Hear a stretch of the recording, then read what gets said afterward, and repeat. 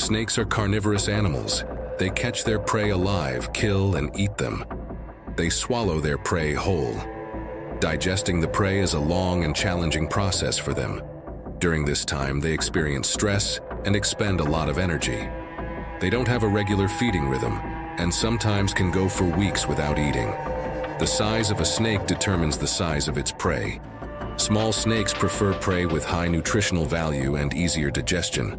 For instance, grasshoppers have an excellent jumping ability, allowing them to easily escape from dangers.